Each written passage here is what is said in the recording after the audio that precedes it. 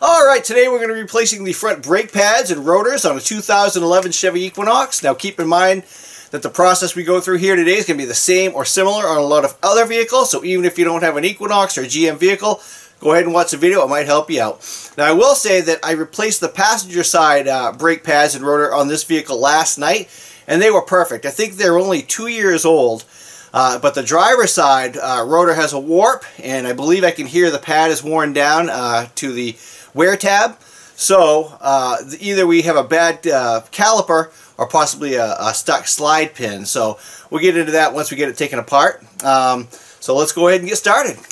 Alright, I have the vehicle up off the ground and supported by a jack and a jack stand. The first thing we're going to do is remove these 14 millimeter caliper bolts. Now these uh, caliper bolts attach the caliper itself to this caliper bracket uh, by threading into the slide pin. Okay, so it's a little bit different than some you might see.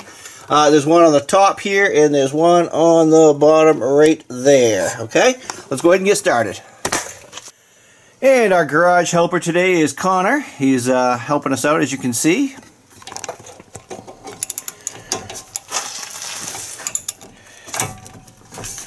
Alright, so that went pretty easily. So some of you may have seen uh, my last video was a little tribute to our garage buddy Keith. Unfortunately, we lost Keith about a month ago.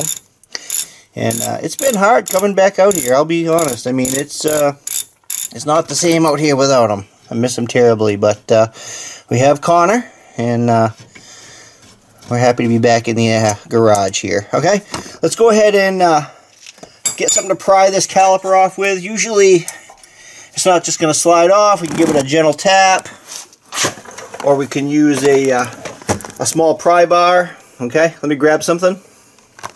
Alright, so I just have this little pry bar here, but you could also use a, you know, a flat screwdriver. A, you could also take a ball peen hammer and kind of tap it. Um, it shouldn't be on there, and if the caliper is working correctly, the piston should compress, uh, and it should slide off. And this one's not on there too, too awful tight. Really what we want to do is get underneath it here.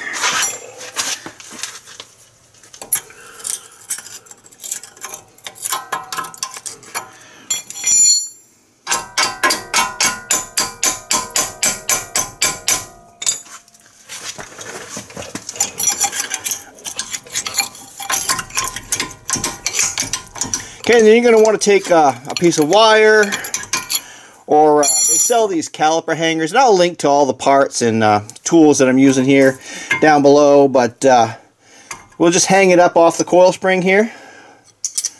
Okay, these are awful handy. I used to just use wire. You can use a coat hanger, wire, whatever, whatever you've got. Oh, there goes my light. Alright, so next we're going to remove these 18 millimeter caliper bracket bolts. There's one here and there's one underneath. I don't know if you can see it down there, my finger. Okay, I'm pointing at it. Uh, and I can see here, there's plenty of pad on these uh, brake pads here. There's plenty of meat left on them. Uh, so I'm not sure where the where the noise was coming from. I know the I know for sure that the rotor is warped, uh, but clearly the pads are still in good shape. So we'll continue on here. Uh, let me go ahead and grab my ratchet in an 18 millimeter for these. Alright, these ones are uh, torqued down to like 90 pounds, I believe. So I've got a pipe on here just to get it started.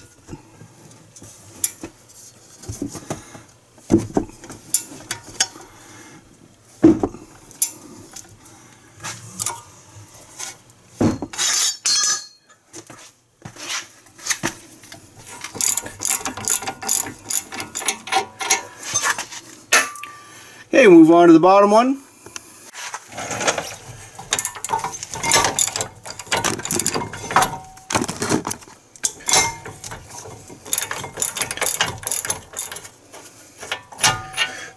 Alright, let's uh, take this over to a table and we'll get it cleaned up. Alright, my brake pads came with new hardware, so I'm going to go ahead and remove these. Um, definitely want to replace these uh, if you're doing your brakes. Alright, let's go ahead and pull the slide pins here, and these are moving freely, so uh, I'm not exactly sure why the this one's not quite as free as this one. This one's moving easily, this one is a little bit tight. So possibly this is the one that's causing the uh, rotor to warp. Um, but we're going to pull them out. And I did get new caliper pin boots. If you didn't buy uh, new slide pin boots, uh, be careful. You don't want to tear these. They're inexpensive, so I would recommend getting them if you're doing the job. But, okay, yeah, that one's definitely a little bit more dry than this one.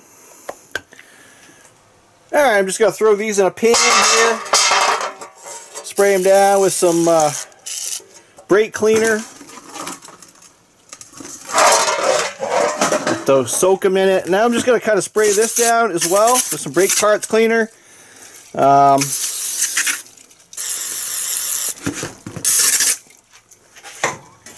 then we're going to take a wire brush and we're going to, especially where those those brake tins were, you want to get those nice and clean because you need those to sit as flush as possible. I have had, and I even have some videos out there, I think, uh, issues where the tins don't sit uh, like they should. I mean, they're just lifted a little bit because of rust and whatnot. And uh, it makes the brake pads real tight. So, take your time and clean it up. I'm going to go ahead and do that. Uh, and the other thing I'm going to do is uh, spray some brake parts cleaner down in these uh, slide pin holes and kind of let that set while we go remove the rotor. Okay, so let me get this cleaned up and then we'll move on to the rotor. Alright, sometimes the uh, rotor is on there pretty good and some rust builds up here on the on the bearing. So what we're going to do is uh, just take some penetrating fluid. I'm going to drop a little into each stud hole as well. And usually you're going to want to let that set. And you can also use heat. Uh, just be careful because obviously there's grease in the uh, wheel bearing and you don't want to thin that out too much. But just going to give it some taps. What we're trying to do here is just kind of help the uh, penetrating fluid get in a little further, okay? Tap it from the back side. That's what really what we want to do. There it goes. Alright. And I keep these, I use these all the time to hold down tarps and different things, so uh, I've got a bunch of rotors laying around. Alright, today we're installing AC Delco Professional uh, rotors. Last time I used the uh, Power Stop uh, rotors and pads, um, and I guess they've been okay. I had them on my truck as well. Uh, but today I thought we'd go right back to the old AC Delco. Uh, and I did with my truck as well on the front. Uh, so you want to do front and back. If there's a film on it, sometimes, the depending on the rotors you buy, there won't be any film. But I want to get that anti-corrosion film or grease, whatever they put on it so they don't rust. Uh, just get that off. Alright, let's go ahead and throw this on real quick. Alright. And if we had the Torx, we'd put that in, but do not over tighten it. Alright, let's go check the caliper bracket. Alright, pay attention to the boots. Um, there is a specific way that to go. This side here is going to go down into the bracket. Get one side started and kind of pinch the rest in. Just like that. Hopefully you saw it. I can't do it with gloves, so I took my gloves off. Okay, they don't all go that way. Sometimes you can put them on the the uh, pins and just kind of push the pin, compress the pin in, and they seat. Okay. Speaking of the pins, let me grab those. All right, I've got the pins all cleaned up. Now, I will mention that um, the pin that had a little bit more resistance is this one. I believe that's by design. So this goes in. It's a rubber end and it compresses slightly. So it's supposed to uh, have a little bit of resistance on it. Okay. Uh, what we're going to use is some of this Ultra, Ultra brake parts lubricant um, to lube them up. And you don't want to overdo it, but you definitely want to get some in there so that when you work them back and forth, it'll work around. I'm going to get up where the boot sits as well.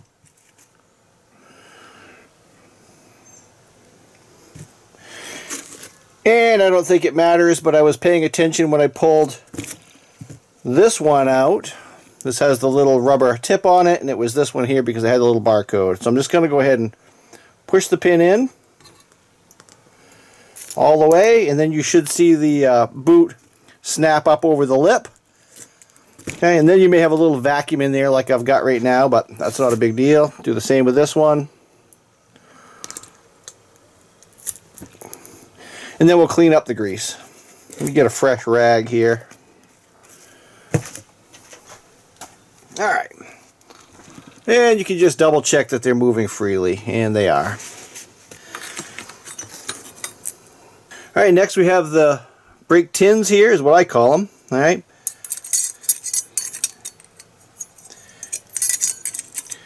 There's usually a ridge that these sit on. They should snap on like that. And uh, when you're putting your pads in, I'm just going to point it out now because it's going to be easier. These provide a little bit of spring tension. So when you go to put your pads on, if they don't seem like they're fitting, um, and we'll test it before we, we put it in place, you want to make sure that you're pushing this down a little bit. So you can start with the bottom here, or in this case the bottom, um, and then slide them on, okay?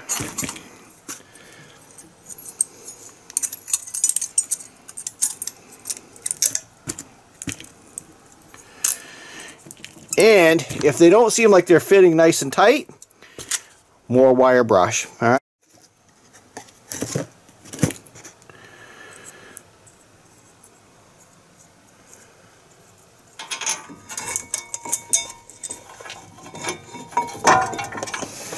And I'm just going to get one started here. Now the uh, bolt goes through the steering knuckle and threads into the bracket. So this bracket goes between the steering knuckle and the rotor, okay? I don't think it can go any other way, but I just thought I'd point that out in case it wasn't obvious when I removed it.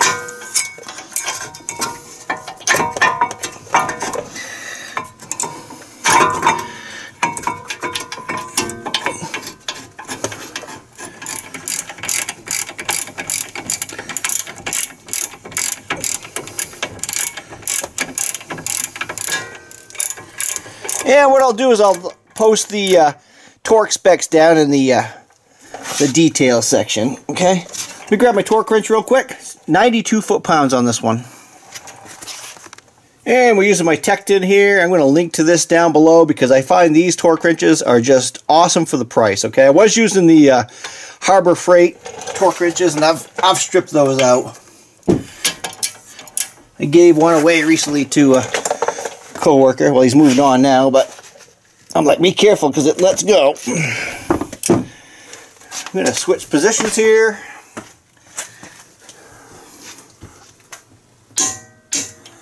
Here's that one.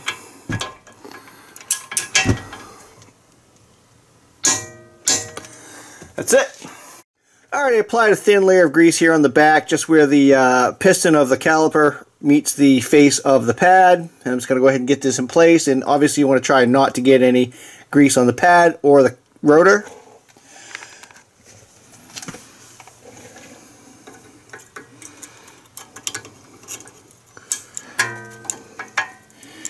And again, you may need to take your finger and just kind of pull this tab back a little bit.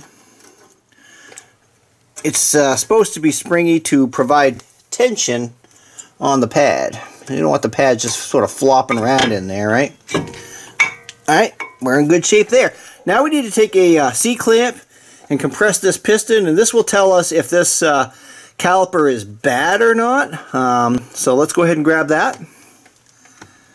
Alright, so what we're going to do is take an old pad, which I really hate to even discard these because they're such great shape. So honestly, I should have checked them before I bought the parts because I would not have bought pads. But uh, then we're going to take our C-clamp and wind it in gently, slowly. Uh, what I usually do is give it a twist, let the uh, let the piston relax, the hydraulics will relax because we're pushing fluid back. And incidentally, I do have the cap off the master cylinder, uh, and I'll show you that because we're going to put the cap back on. Okay, and that piston is compressing easily, so I would say that we don't have a bad a bad caliper. So I'm not exactly sure why the rotor warped. Again, it was a power stop. Um, and it was just this side, so I don't know if it was real hot and somebody went through a puddle, but uh, Usually it's an indication of uh, either a stuck pin or a stuck caliper piston causing the uh, face of the brake pad to maintain contact with the rotor, which increases uh, the heat substantially. And you can tell if you go walk around and press on the outside of your wheels a lot of times, and also the smell. so that's it. I've got that, comp that compressed all the way. And when you do that, be sure that you don't have any of the, the piston boot. You don't want to pinch it. And these again were 14 millimeter, and these go through the uh, caliper bracket or the caliper itself into the caliper bracket. And we'll take our hanger off. And you may have to manually push the pins in uh, to get this kind of in, in place. And then we need to torque these down. I think these are 20 foot-pounds. Again, I'm going to have all the torque specs down below. So hopefully you found this video helpful. Uh, I plan on being out here a lot more. I know I haven't been doing many. Uh, poor Mr. Keith was sick for a while and he was a fighter.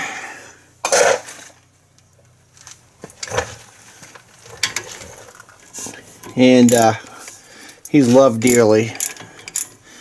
I know uh,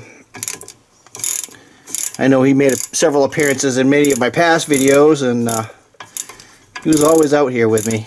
So, anyways, if you found the video helpful, please give me that thumbs up. And if you want to see more of this type of stuff and you're not a subscriber, hit that subscribe button. I do all kinds of uh, repair videos, ATV repair, uh, auto repair, obviously, home improvement, appliances. Um, I need to grab a wrench because that's actually spinning, uh, which is what I mentioned earlier. Uh, and then I need to torque it down to uh, 20 foot-pounds, okay? Last thing we're going to do after I torque these down is uh, replace the master cylinder cap, pump the brakes before you drive it, make sure the vehicle is going to stop, uh, and then kind of top off your brake fluid. You might have pushed some out, depending on how full your uh, brake system was, your reservoir, and your overall system. So you may need to top that off. All right. Hey, thanks for watching. Have a great day. And uh, leave questions and comments below. And take care of yourself and be kind to others. All right.